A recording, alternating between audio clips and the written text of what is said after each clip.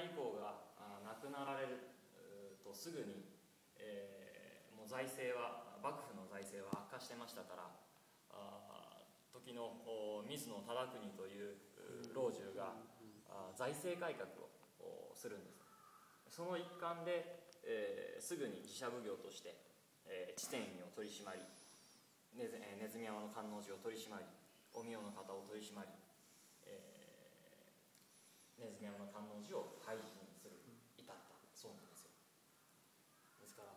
あもう少し家成公が長生きをしていたら少し時代が変わってたかもしれない。あのネズミ山の観音寺というお寺はあお寺の格としてはあママ山愚法寺と同格のお寺だったそうね。池上本門寺の寺で、なおかつ本山であるママ山と同格のお寺として建立をされたそうで、えー、時その